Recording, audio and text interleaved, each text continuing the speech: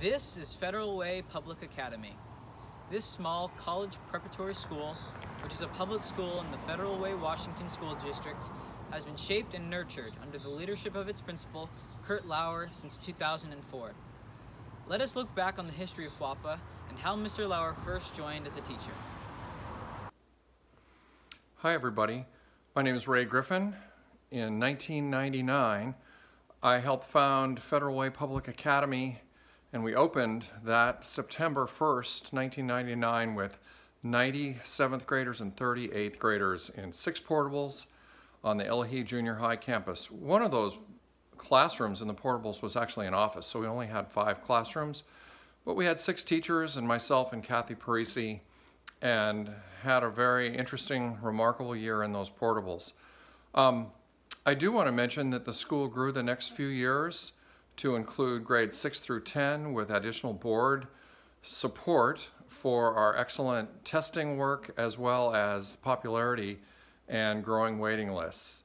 Um, the school actually was founded in 1999 after a March vote where we had a three to two board vote, somewhat controversial as we were trying to create something very different. Tom Vander Ark described it as a boutique school. There are many things that happened in the first few years, but we had some great staff members, Diana Stray, Mark Klumpenhauer. In the second year, Barry Lynn, and of course, Kurt Lauer joined us and of course became the long-term principal, really keeping this school going and doing a tremendous job supporting the idea of not having just a typical school in Federal Way, especially preparing those 10th graders for options like the IB program, early college, and a variety of choices that were different than the normal 10th grade graduate. So the school is doing really well and you know, after all these years, I'm really, really pleased with the community and how it has supported the school. As I've gone on to do different things in my career, I look back and see that as one of the more important, um, exciting, and challenging things that I had to do. No one will really know all the stories, but hopefully we'll tell those someday. Congratulations, Kurt. Great job. Bye. Well, again, Ray did most of that work, but it was to be typically like a private private school, like Annie Wright or Charles Wright or Lakeside. And uh, it pretty much was, and it still is, a school that concentrates on achievement and knowledge. Uh, Ray and I had a fair amount of experience with college admissions and whatnot, and we had a pretty good perception of what it takes to get into competitive colleges. So we, we understood from our previous experiences working back east with private schools and with private colleges largely, uh, what it takes to do that and the kind of strengths that you need to have to be attractive to those kind of schools. Well, again, they have a vision. This is a college prep program. This is designed to meet the admission requirements of colleges, and we don't have a lot of the diversions and distractions that occur elsewhere. FWAPA's mission is threefold. Uh, one, to prepare students to be competitive and successful at the country's top and most prestigious universities and establishments of higher learning. Two, to be compassionate, contributing members of society. And three, to be able to have the freedom to, of choice to strive for whatever it is that they have, whatever goals they have at any point in their life. So I've been working with Kurt Lauer for 20 years now, um, longer than anyone I've ever worked with in my entire career. We were both hired by Ray Griffin to work at FWAPA in the summer of 2001. And um, yeah, it was quite a start. I remember that the second week of classes, we had 9 11. And wow, what a way to start a, an already interesting kind of school life to be teaching in the portables, to um, to having kids in the in a very college prep atmosphere, and then to deal with 9/11. That was my first real memory. Wow, what changes are going on? Life in the portables was interesting. Um, for one thing, bathrooms. only a couple of the portables had bathrooms in them. And so if you had a kid who had to use the bathroom, you say, fine, but you know, go ahead and go. But you know, you're going to be interrupting Mr. Lynn's lecture. And it was, there was something nice about it. Something nice about having to share these bathrooms with everybody. It's a funny thing for me to think about but it helped us feel like a family, like a real family. The staff didn't have a separate bathroom here, and the kids have another one. The boys and the girls, we all had to share the same facilities, the same tight space. We all had to share the same lack of other facilities, like there was no place to do assemblies. We were out in the parking lot. We had an asphalt area, and kids just dragged chairs out there, sat down there in the clouds and the rain and the sun, and we did our little assemblies there. And on one hand, you could say it felt like a really cheap organization, but it was not cheap. It was broken down to the bare bones of what education is. You can get rid of all of the fancy schmancy elements around it. We were there, the kids were there, we knew we were there to teach and learn and have a purely educational community. And back in the days of the portable, that was clear. And that was one of those things that made it special. And I think it made an impact on me and on anyone else who came through here. Um, a lot of us said over the years, we missed the portables because as long as we had that, that kind of, of atmosphere, we remembered what made us special, that we were special, that we were different, and it was good to be different, and that education remained the purest form of what we should be doing in the school. Before I became a teacher at FWAPA, I was a student of Mr. Lauer, and he was one of my favorite teachers of all time because of the way he cared for his students. And I remember being in his class taking notes, but then also remembering just how positive he was in encouraging me, and he believed in me more than any other teacher. I'm so grateful to have had Mr. Lauer as my teacher. After serving for only three years, Mr. Lauer became FWAPA's principal in 2004. FWAPA serves a little over 300 students, which means approximately 60 students per grade from 6th to 10th grade. Entrance through FWAPA remains solely through lottery. Well, to maintain the high standards, the whole point of FWAPA is to be able to give public school kids the same quality education that you would get if you had to pay thirty or forty thousand dollars at a private school and keeping that mission alive and keeping that vision alive um, my main goal is to be vigilant to be able to do that to have a school that's the best place for kids to go you also have to have a school that is the best place for teachers to teach and part of my biggest role is getting good people and making sure that they love coming to work.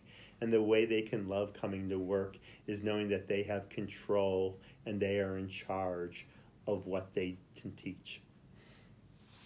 The philosophy behind sixth grade is, first of all, to prepare sixth graders to be successful here at FWAPA in the upper grades and then beyond there are so many things that kids need to know that come from not doing any outside work to coming to FWAPA in, in sixth grade and being totally overwhelmed with work.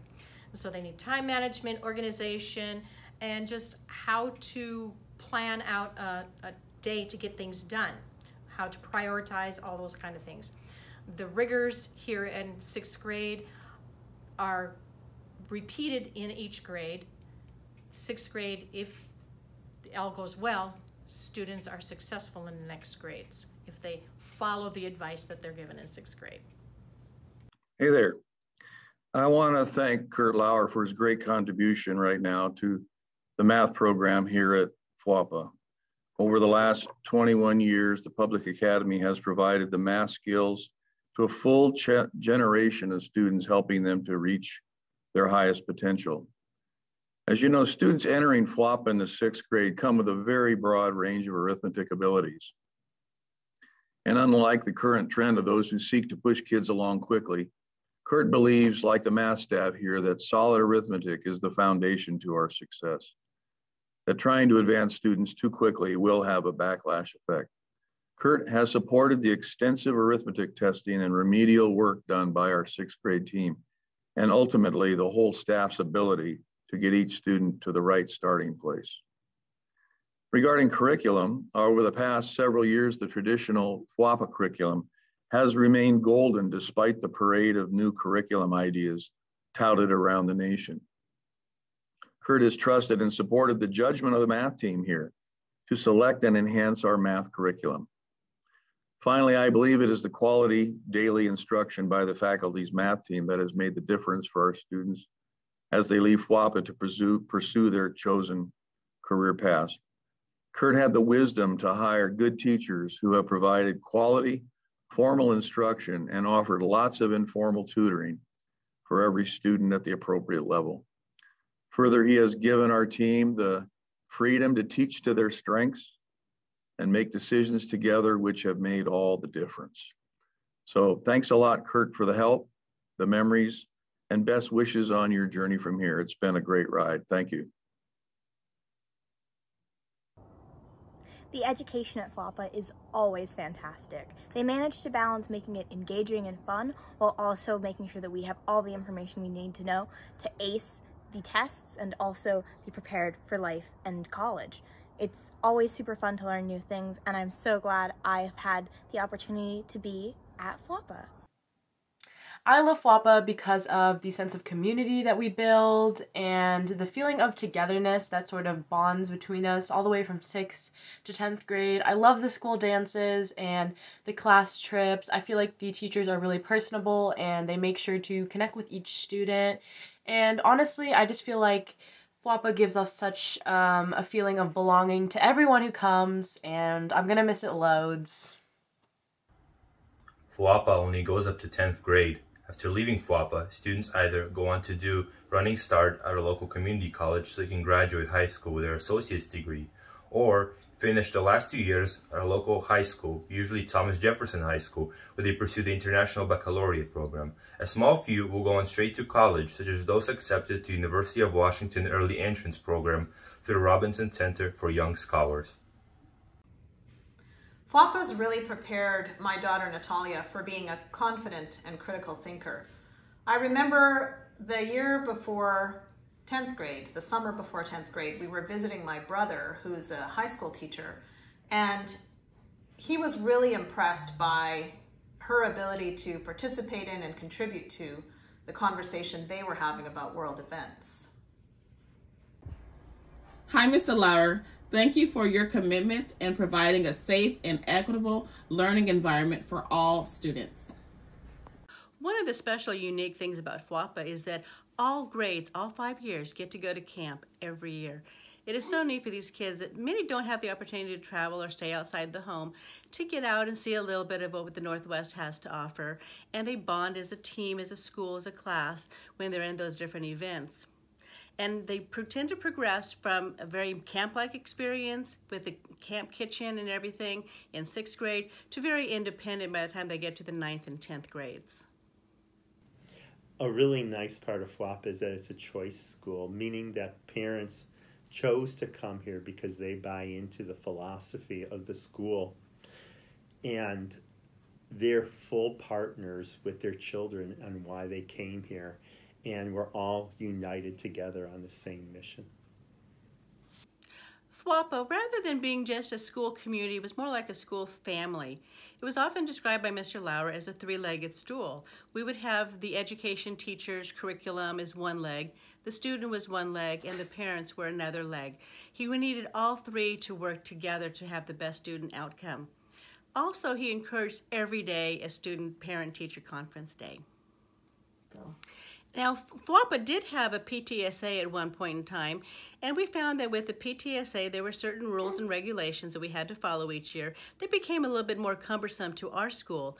We found that FWAPA is an out-of-the-box type of school, and we really needed to have an out-of-the-box type of parent support club in which that we could support the school better. So we formed our own booster club. This way we can do for the school what we want to do for the school and what the school needs from us as parents without being so regulated by an outside source. Hi, I am so honored to have an opportunity as a current FWAPA parent as well as a past FWAPA Booster Club president to speak to you today directly to thank you, Mr. Lauer, for your unending support of the Booster Club and its efforts to raise funds every year. As you know, through the auction, we were able to raise tens of thousands of dollars, and that money helped to offset events and provide access that our scholars would have to attend camps every year. I thank you for your support also during my presidency and for attending every single Booster Club meeting. I wish you well and I hope that you have a wonderful retirement. Now that Mr. Lauer is retiring, the FWAPA Booster Club wanted to recognize Mr. Lauer's commitment to our school by creating a scholarship in his honor. The Kurt Lauer Scholarship is worth $500 and awarded to a 10th grader who completes at least five hours of community service. And just like entering FWAPA, the winner is chosen by lottery. In honor of your many years of service to the Federal Way Public Academy, with one bench for each of Mr. Lauer, Mr. Genslinger, and Miss Wisenhunt, the FWAPA Booster Club would like to donate this space as a gathering space for students to come together, to read books, and we hope that it'll be affectionately known as the Nook for many years to come. Hello, I'm Steve Anderson, Dean of Students and 7th grade science teacher. One thing that Booster Club wanted to provide Mr. Lauer as part of his retirement gift was a Japanese coral maple. Why Japanese maple? Well, Japan was one of the first countries that Mr. Lauer, or the first country that Mr. Lauer toured in college, so we thought that this would be a fitting um, departure gift for Mr. Lauer. So, Mr. Lauer, we appreciate everything you've done for FWAPA in the past 17 years. Thank you for your amazing service to our school. Thank you for all you've done. We sure appreciate that. Have a wonderful retirement. I mentioned how Mr. Lauer believed in me more than anyone else, and that shows just by how he has taken me in as a staff member at FWAPA and given me all the encouragement and support that I could have ever asked for. I love being a teacher at FWAPA, and it's all thanks to Mr. Lauer that I've had this opportunity to learn and grow as an educator. Thank you, Mr. Lauer. I'm Mr. Lauer. Thank you for being a servant leader in the Federal Way community for over 20 years and helping so many young people realize their potential. Thank you, Mr. Lauer, for all your dedication. And it's been a pleasure working with you for the last few years. And I hope whatever you decide to do, it brings you happiness and good luck. The opportunities provided to me by FWAPA have made me feel as though there are no limitations to my future. Since I've decided to pursue a doctorate in physical therapy, I have managed to accelerate the completion of my degree by a year. This was made possible due to the prerequisites I've already achieved during my years at FWAPA. I'm thankful to have experienced this invaluable opportunity provided to me by Mr. Lauer. In simple terms, amazing. Over my time at FWAPA, Mr. Lauer has been an amazing principal. He really cares about every student and works with each one to ensure their success at FWAPA. When we were all in the sixth grade, Mr. Lauer came to our classroom almost every day and learned the names of every new student. He takes the effort to get to know everyone, which is what I find amazing. And I think his dual role as a principal and a teacher really makes him connected with the students and really is extraordinary. When I think of legacy, the most important thing is what is the impact that I've had on people who I've worked with and met and the students that I've taught these last 30 years. And my hope is that I will have a legacy in the sense that my impact on them will be positive as they move into adulthood and as they live the rest of their lives.